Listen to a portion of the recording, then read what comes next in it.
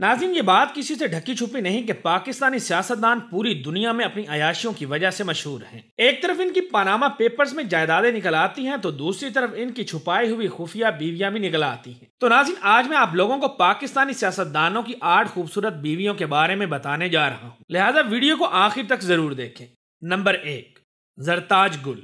नाजिन जरताज गुल पाकिस्तान की एक नौजवान खूबसूरत जाजब नज़र सियासतदान है, जो कि Pakistan Tehreek Insaf P T I का हिस्सा है। ये जितना एज ए पोलिटिशियन मशहूर है, उससे ज़्यादा अपनी खूबसूरती की वजह से मदाहों के दिलों में बसती है। इनके नाम से सब वाकिफ हैं। इनका शुमार पी टी आई के अलावा भी पाकिस्तान की अहम तरीन सियासी खातन में होता है। ये पाकिस्तान तहरीक इंसाफ के रहनुमा इमरान खान के करीब तरीन और काबिल इज़्ज़त सियासी खातन में से एक है। इनकी शादी साल 2010 में हमायूं रजा खान अखवन से हुई थी, जो कि खुद भी पाकिस्तान तहरीक इंसाफ से ताल्लुक रखते हैं। अपने तीन साल दौरे हुकूमत के दौरान जरताज गुल पीटीआई की तरफ़ से क्लाइमेट चेंज की मिनिस्टर भी रह चुकी है। इसके अलावा ये पाँच साल नेशनल असम्बली ऑफ़ पाकिस्तान की मेंबर भी रह चुकी है। नंबर दो, तहमीना दौरानी। नाजिन तहमीना दौरानी पाकिस्तान की मशहूर मारूफ अदब आर्टिस्ट और औरतों के हकूक के लिए काम करने वाली समाजी कारकुन है। जो आज फ़र्स्ट लेडी ऑफ़ पाकिस्तान भी है ये 2003 से लेकर अब तक शहबाज शरीफ की बीवी हैं। ये माजी में अनीस खान और मुस्तफ़ा खर की अहलिया भी रह चुकी हैं। इनकी लिखी गई किताबें पाकिस्तानी आवाम में खुलबली मिचा देती हैं क्योंकि ये ज़्यादातर पाकिस्तान के पुराने रस्म रवाज के ऊपर तनकीद करती नज़र आती है शहबाज शरीफ की पहली बीवी बेगम नुसरत शहबाज थी, जिनके साथ ये उन्नीस से उन्नीस तक रहे शहबाज शरीफ और बेगम नुसरत में तलाक की बड़ी वजह यह थी की उस दौर में आलिया हनी के साथ शहबाज शरीफ के अफेयर्स की खबरें आम थी, जो की तलाक की वजह बनी। आलिया हनी उस वक्त पाकिस्तान की मशहूर अदाकारा और मॉडल थी और शहबाज शरीफ का इनके साथ एक साल तक ताल्लुक रहा। नंबर तीन, रेहाम खान। नाजिन, रेहाम खान एक पाकिस्तानी सहाफ़ी हैं जो कि ग्लैमरस की वजह से मशहूर हैं। यह पाकिस्तान के सबका वजी अजम पी के चेयरमैन इमरान खान की दूसरी बीवी भी रह चुकी हैं, जिसका अंजाम तलाक की सूरत में 30 अक्टूबर 2015 को हुआ था। रेहाम खान की पहली शादी डॉक्टर एजाजुर रहमान के साथ हुई थी, जो कि माहिर नफ्सियात थे। शादी के वक्त रेहाम खान की उम्र सिर्फ़ 19 साल थी। शादी के बाद रेहाम खान ने सहाफत का आगाज़ किया और जल्द ही दोनों मियाँ बीवी में इख्तलाफात पैदा होना शुरू हुए, जिसका अंजाम 2005 में तलाक पर हुआ। इस शादी से रेहाम खान के तीन बच्चे भी हैं, जो की इनके साथ बरतानिया में ही मुकीम है। तलाक के बाद रेहाम खान ने ब्रॉडकास्ट जर्नलिस्ट के तौर पर बीबीसी के लिए काम करना शुरू कर दिया। रेहाम खान की पहली दो शादियाँ उनसे हुई, जो इनसे उम्र में काफ़ी बड़े थे और अब की बार इन्होंने तीसरी शादी खुद से पंद्रह साल छोटे बच्चे से की है। नाजिन रिहाम खान के बारे में ये कहा जाता है कि ये चंद सालों के बाद एक नई शादी ज़रूर करती हैं। आपको बताता चलूँ कि ये अपने कैरियर के दौरान legal TV, BBC news, sunshine radio, UK news one channel और पीटीवी के मुख्तलिफ़ चैनल पर काम कर चुकी है। और ये अपनी एक किताब रेहाम खान के नाम से भी लिख चुकी है, जो की काफ़ी तनाजात का शिकार रही।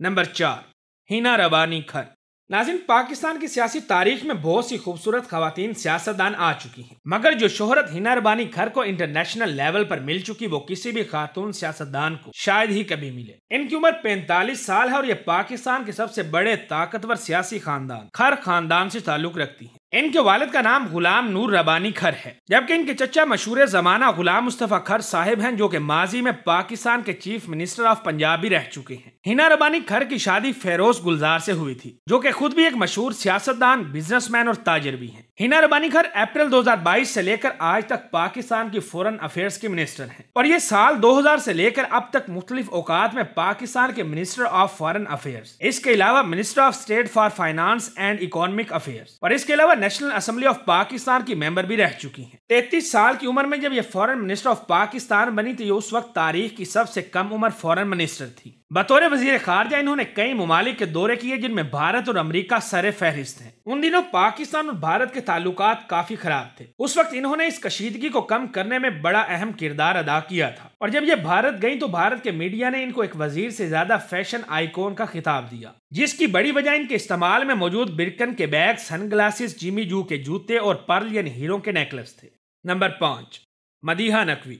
नाजिन मदीहा नकवी का ताल्लुक लाहौर से है, जो एक कामयाब न्यूज़ एंकर रही हैं। ये अपनी लाजवाब खूबसूरती की वजह से बहुत से लोगों के दिलों पर राज करती रही हैं। ये खूबसूरत होने के साथ साथ एक जहीन और शातिर खातून भी हैं। इनके वालद भी एक रिटायर्ड सियासतदान है। Madiha Naqvi A R Y news channel पर काम करती रही हैं। और ये अपना एक शो बाखबर सवेरा भी होस्ट करती हैं। मदीहा नकवी आज फैसल सब्जवारी की बीवी हैं, जो कि एम कराची के एक अहम रुकन होने के साथ साथ एम एन ए और एम पी ए भी रह चुके हैं। इन दोनों ने अपनी शादी खुफिया रखी क्योंकि ये फैसल सब्जवारी की दूसरी शादी थी। लेकिन कहते हैं कि इंसान कुछ कितना ही क्यों ना छुपा ले, सच आखिर एक ना एक दिन सामने आ ही जाता है। और यहाँ भी इन दोनों की खुफिया शादी का सबूत, तस्वीर और वीडियोस की शक्ल में सामने आया, जिसके बाद एक नया पंडोरा बॉक्स खुल गया, जिसके नतीजे में सैयद फैसल सब्जवारी को सारी दुनिया के सामने मदीहा नकवी को अपनी बीवी तस्लीम करना पड़ा।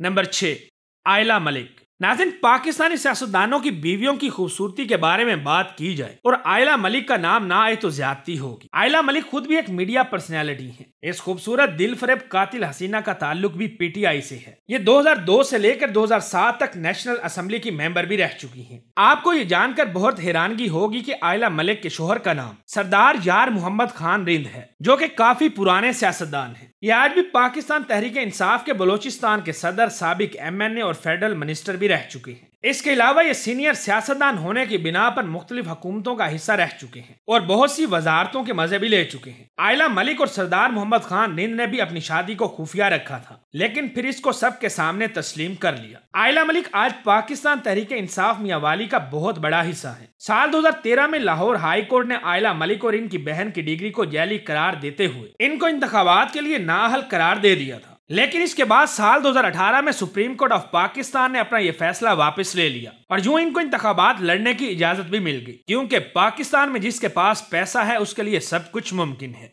नंबर सात, आयशा आहद मलिक।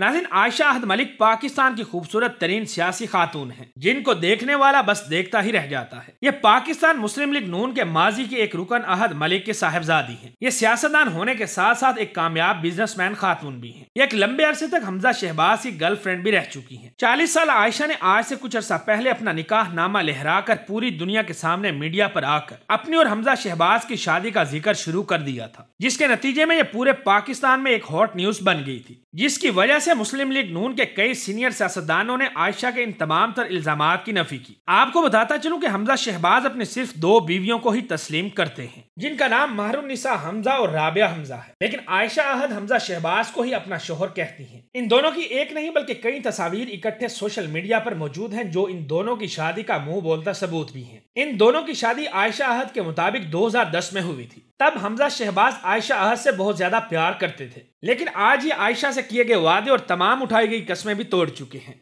नंबर आठ, डॉक्टर हीरा शफक। नाजिन डॉक्टर हीरा शफक पेशे के लिहाज से तो एक डॉक्टर थी, लेकिन इन्होंने अपना मेडिकल कैरियर छोड़कर एक जर्नलिस्ट और न्यूज़ एंकर बनकर काम करना शुरू कर दिया। ये पाकिस्तान के पीटीवी न्यूज़ पर खबरें पढ़ती थी, और इसके साथ साथ कैपिटल व्यू के नाम से एक टॉक शो की मेजबानी भी करती है। ये 2017 से मुस्लिम लीग नून के रहनुमा और सबक वज़ीर रेलवे ख्वाजा साद रफीक से शादी करके बैठी। ये ख्वाजा साद रफीक की दूसरी शादी थी जो काफ़ी अरसा तक खुफिया भी रही। साल 2018 में जब इलेक्शन का ऐलान हुआ तो तमाम सियासतदानों ने अपनी जाती ज़िंदगी के बारे में बहुत सी बातें बताई। और उस वक्त ख्वाजा साद रफीक ने भी पूरी दुनिया के सामने डॉक्टर हीरा शफक को अपनी दूसरी बीवी के तौर पर तस्लीम किया। तो नाजिन ये थे पाकिस्तानी सियासतदान और उनकी खूबसूरत तरीन बीवियाँ और कुछ खुफिया बीवियाँ। नाजिन उम्मीद है हमारी आज की ये वीडियो भी आप लोगों को ज़रूर पसंद आई होगी। वीडियो अच्छी लगे तो इसे अपने दोस्तों के साथ फेसबुक व्हाट्सएप और दीगर सोशल मीडिया साइट्स पर भी शेयर करें।